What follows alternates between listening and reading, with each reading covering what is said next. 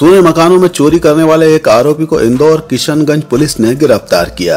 आरोप के कब्जे से मोटरसाइकिल, चोरी का माल बरामद किया, जिसमें बड़ी मात्रा में सोने चांदी के जेवर शामिल है। किशनगंज पुलिस को सूचना मिली थी कि क्षेत्र में एक युवक बाइक से घरों की रेकी कर रहा है। मुखबिर द्वारा बताए हुलिये के आधार पर युवक को पकड़ा, जिससे पूछताछ की गई तो वह बाइक भी चोरी की निकली। जब उससे और कड़ाई से पूछताछ की गई तो उसने किशनगंज थाना क्षेत्र में ही बारह से अधिक चोरियों को अंजाम देना स्वीकार किया। जब उसके घर की तलाशी ली गई तो उसके घर में रखा नकब जनी का सारा माल भी बरामद हो गया। पूछताछ में आरोपी ने अपना नाम शाहरुख उर्फ़ फुल का पिता सनावर खान बताया, जो कि उज्जैन ज़िले के आगर मालवा का रहने वाला है। आरोपी ने उज्जैन तहसील में भी चोरियों को अंजाम दिया था, जिसके बाद इंदौर आकर किशनगंज क्षेत्र में रहने लगा, जहाँ उसने एक दर्जन से अधिक चोरी की वारदात को अंजाम दिया। आरोपी से कुल बारह लाख रुपए से अधिक का सोने चांदी के जेवर व नकदी बरामद हुए। फ़िलहाल पुलिस आरोपी से पूछताछ कर रही है, जिसमें और भी खुलासे होने की संभावना है।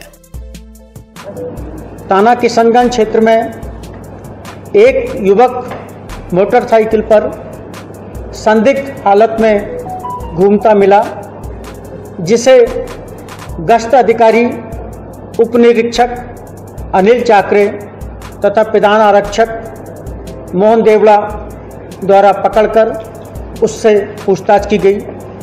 मोटरसाइकिल के बारे में पूछा गया, उसके कागज़ मांगे गए। तो उसके पास मोटरसाइकिल के कोई कागज़ नहीं पाए गए।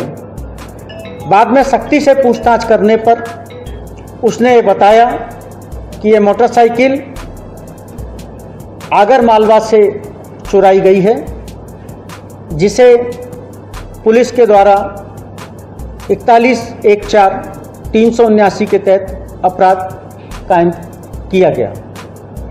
Additional SP Mau Shri Puneet Gehlot SDOP Mau Shri Vinod Sharma तथा थाना प्रभारी किशनगंज, शशि शशि चौरसिया व एसआई अनिल, प्रधान आरक्षक मोहन देवड़ा, तथा अन्य द्वारा जब संदिग्ध से लगातार कई घंटों की पूछताछ की तो पूछताछ में ये पता लगा कि उसका नाम शाहरुख उर्फ़ फुलका, पिता, सनावर खां, निवासी नागदा जंक्शन उज्जैन का है और वो एक सातिर नकबजन है।